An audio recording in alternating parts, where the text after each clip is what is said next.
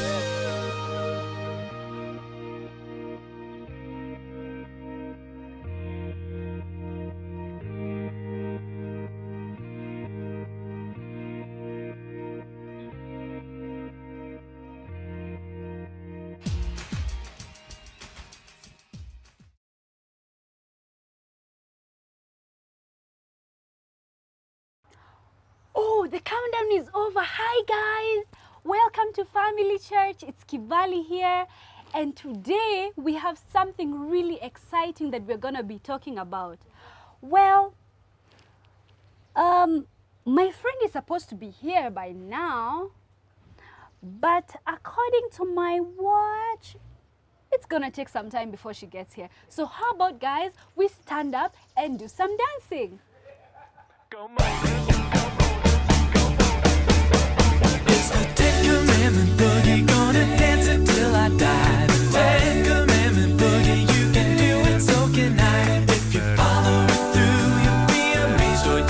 do, so get your groove on with us tonight.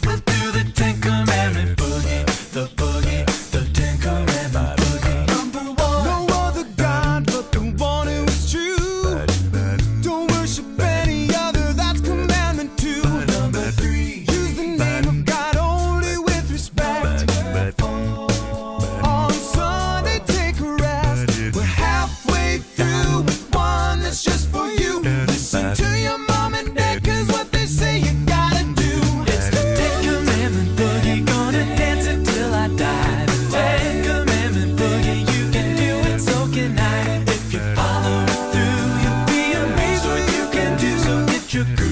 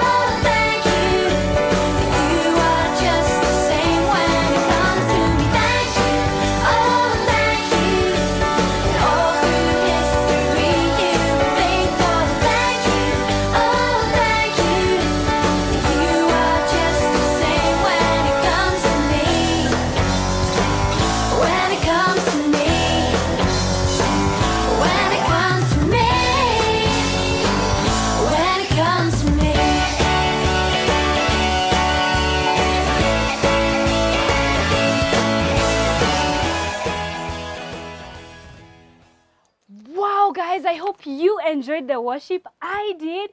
And guess who's here? Hi, Kimberly. Hi, my boy. Welcome. Hi, guys. We've just done our worship. Just sit here next to me. Ooh. Whoa, one boy. What is this you have here? This here? is sugarcane juice. Guys, sugarcane juice? What is sugarcane? Is that a fruit or a what? It's a plant. We've been talking about fruits and last week we talked about the fruits of the spirit, not bananas or oranges like Chikwaza was saying, but about the fruit of the spirit of love and joy. And today we shall talk about the fruit of patience. Wow, that reminds me. Do you know how long it took for me to wait for this sugarcane juice? Did you just like um squeeze it, squeeze it like No, it took so long. We had to go to the shamba, Uh-huh. cut down the sugarcane, take the sugarcane, chop it up, put it inside a machine, run it through the machine, wait for all of the juice to come out, put it inside this cup, and then I finally got my sugarcane juice. I I would have just collapsed because of how thirsty I was. It took so long, but it was worth it. I had patience, and now I have my sugarcane juice. Waiting can be so hard. Guys, have you ever waited for something for such a long time?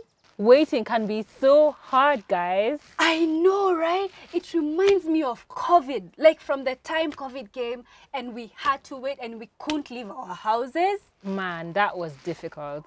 So hard. You couldn't even go out and play with your friends or go to school. couldn't even go out to other people's places, you know? But you know what? Thank God it's now better. Yeah, it's getting better slowly. You know what, Wamboi? That reminds me of a story. There's a story in the Bible where they couldn't even go out of their. Really? Yeah, it was like a house, like an ark. An ark? A What's big, that? A big boat. Watch this story. Stories of the Bible Noah and the Flood. This is Noah. Hey, Noah was a good man who tried to do the right thing.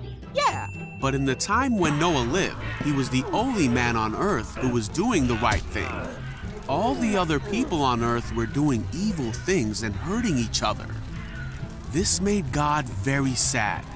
So God said that he was going to send a flood to the earth that would destroy every living thing on earth because he was sorry he ever made them. But God decided to save Noah and his family. God told Noah to build a boat and fill it with two of every kind of animal and bird. colors, birds, moss. Okay, all here. Noah did just that, and then Noah and his whole family boarded the boat and waited for the flood to come. The rain fell hard for 40 days and 40 nights. Water covered the whole earth, and the boat floated safely on the surface. Water covered even the highest mountains on earth, but Noah and his family were saved. God remembered Noah and all the animals on the boat. God sent a wind to blow across the earth, and the flood began to go away. After five months, the boat came to rest on a mountaintop. A few months later, the other mountains could be seen. Forty days later, Noah opened a window and released a raven. The bird flew back and forth until the flood had dried up. He also sent a dove out to see if it could find dry ground, but the dove couldn't find a place to land because there was still water on the ground. So the dove returned to the boat. Oh, hello again. After another seven days, Noah sent the dove out again. This time, it came back with an olive leaf, Oh, bingo. so Noah knew that the floodwaters were almost gone. A week later, he sent the dove out again, and it didn't come back. So many months after the flood began, Noah opened the covering of the boat and saw that the ground was drying. He waited two more months, and at last, the earth was dry. Then God said to Noah, Leave the boat, all of you. Release the animals so they can be fruitful and multiply throughout the earth. Okay. So Noah, his family, and all the animals finally left the boat. See ya. Noah built an altar to the Lord to make a sacrifice to God. God was pleased with Noah's offering and said to himself that he would never again destroy every living thing on earth. God blessed Noah and his sons and promised them that he would never send another flood. He gave them the rainbow in the sky as a sign of this promise to Noah, his family, and all of mankind.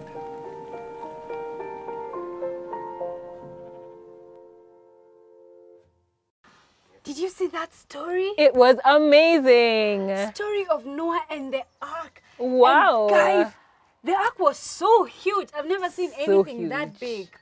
I know, right? But imagine being stuck in such a big thing With all the animals. and all the Scary. water. Wow. Where were the animals pooping? Anyway. anyway, that must have been hard for Noah. But they still trusted and waited on God, right? They really did. Waiting can be hard. Mm-hmm. Guys, how about you talk about this at home?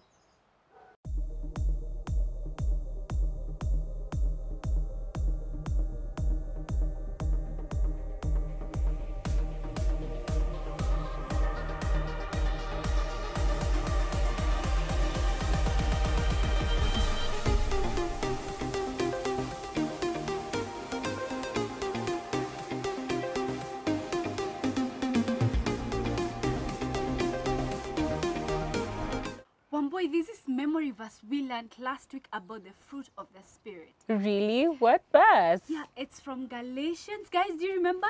Galatians chapter 5, 22 and 23. Let's watch it. But the fruit of the Spirit is love, joy, peace, patience, kindness, goodness. The fruit of the Spirit is faithfulness, gentleness, and self control. Oh, oh, the fruit of the Spirit is love, joy, peace, patience, kindness, goodness. The fruit of the Spirit is faithfulness, gentleness, and self control. Gentleness and self control. What a lovely memory verse. I think we need to ask God to help us be more patient. We really should. Guys, let's pray together. Dear God, Dear God, please help us please help us to trust you to trust you as we wait. as we wait. In Jesus' name, Amen.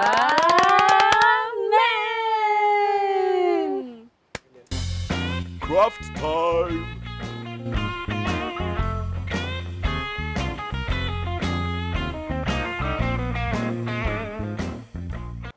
So for our craft today, Wamboi, we're gonna write patience, a big word that just means we need to learn how to wait. Patience means you're waiting, right? Right. And then we're gonna fill it with different colors from the rainbow.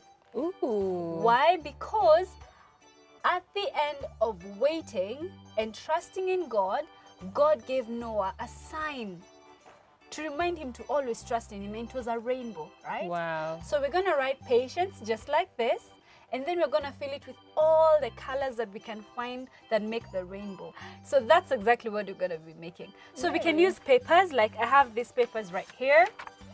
Find any papers you have, colorful papers, or pencils, colorful pencils, or tape. Anything that is exciting and colorful, and just add it to your paper. So what we're, what we're gonna do, so because we've already written your your patience, you can just start with that, and I'm gonna write another one right here. So patience.